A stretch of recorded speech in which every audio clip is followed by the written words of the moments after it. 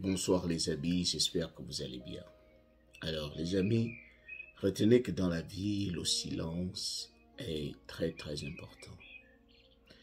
Lorsque vous savez garder le silence, vous savez éviter beaucoup de problèmes et vous arrivez à résoudre certains problèmes rien qu'à travers le silence. La toute première raison qui justifie le fait qu'on garde le silence, c'est lorsque vous êtes en colère. Je m'imagine lorsque je suis très en colère, je parle.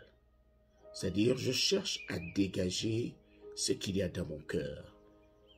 Et ce que je sors de la bouche parfois, c'est du venin. Ce sont des paroles blessantes parce que tu veux être sûr que la personne qui t'a blessé recevra un châtiment au même titre que ce que tu as reçu. Et parfois, on dit des choses qui sont tellement blessantes et des choses, on dévoile certains secrets lorsqu'on est en colère. Et ces secrets, on finit par les regretter plus tard. Je vous prends un exemple. Vous êtes blessé par votre petit ami. Et dans votre colère, vous commencez à débiter des choses. Vous sortez certains secrets. Vous dites, je regrette même pourquoi je me suis mise avec toi. Et pourtant, Jean-Martin, mon ex, ne fait que me réclamer. Il m'a écrit hier, j'ai décliné, je lui ai dit non, j'avais déjà fait mon choix. Mais je regrette. Ce que vous venez de dire est très grave. Vous venez de dévoiler quelque chose qui va nuire à votre relation plus tard. Parce que peu importe le genre de colère que vous avez, lorsque vous, avez, vous allez résoudre votre problème, cette histoire va revenir en surface.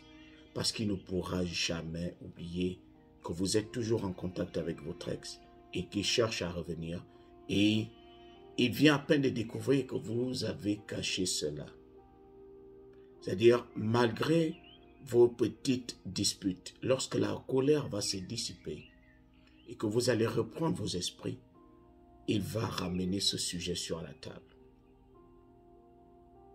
Ou du genre, pour qui tu te prends? Tu te prends pour la plus belle. Mais j'ai, si, si, si ta copine était tellement sincère, je n'aurais pas couché avec elle. C'est-à-dire, tu viens de dévoiler, tu viens de dire que tu as couché avec la copine, la meilleure amie de ta copine, de ta petite amie. Tout simplement parce que tu es en colère. Que, ce soit une blague ou du sérieux, tu seras dans de beaux pétrins. Parce que lorsque vous allez résoudre cette affaire, les choses ne seront plus jamais les mêmes. Et c'est ça l'inconvénient lorsqu'on ne sait pas garder le silence. Lorsqu'on ne sait pas, même si tu es en colère, retiens-toi avale d'abord, digère d'abord la colère avant de parler. Le deuxième cas, c'est lorsque vous devez écouter. Lorsque vous voulez écouter, imaginez que vous êtes dans un débat. L'autre est en train d'argumenter.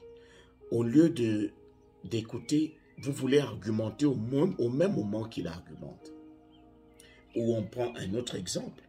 Vous êtes en train de vous disputez avec quelqu'un. Pendant qu'il est en train de parler, vous parlez au même moment. Vous essayez de parler plus fort parce que vous vous dites, en, l'étouffant, cela, va, cela signifierait que vous avez gagné. Mais non. Lorsque vous parlez au même moment que, que quelqu'un parle, vous n'écoutez plus. Et c'est ça l'inconvénient. Imaginez que quelqu'un essaye de vous transmettre un message et vous parlez au même moment que la personne parle la personne va véhiculer des messages, va véhiculer des informations qui vous seront utiles si vous écoutez. Mais comme vous parlez au même moment que la personne parle, vous écoutez moins. Et lorsqu'on parle, on écoute très très peu. Et lorsqu'on écoute peu, on apprend très peu. Inconvénient, parce que vous ne savez pas écouter. Lorsque vous êtes dans un débat, la meilleure technique, c'est de bien écouter quelqu'un. Lorsque quelqu'un est en face de vous et que c'est votre adversaire, laissez-le prendre la parole. Si vous, vous pouvez lui donner deux minutes. Parce que lorsque vous écoutez, cela ne veut pas dire que vous n'avez rien à dire. Mais vous attendez le moment où il va laisser partir une faille. Parce que lorsqu'on parle, on s'entend parler, sauf qu'on ne contrôle pas les erreurs qu'on sort de la bouche. Et la meilleure façon de, contrer, quelqu'un, c'est de, de le laisser parler, parce que dans tout ce qu'il va dire, il y aura quelque chose que vous allez récupérer pour mieux le contrer. Mais si vous n'écoutez pas, vous n'allez jamais découvrir qu'il y a des failles dans ce qu'il dit. Vous n'allez jamais découvrir comment vous pouvez renverser la situation, même si au départ, lui, il avait, il avait raison. La troisième possibilité, c'est lorsque vous voulez réfléchir. C'est important. Vous êtes face à une situation. Vous avez un problème entre les mains. Au lieu de vous calmer, vous commencez à parler, à débiter, au lieu de garder d'abord le silence. Parce que je vous l'ai dit, le silence est très important. Le silence permet de calmer tout autour de vous, de ne rester que vous-même, de,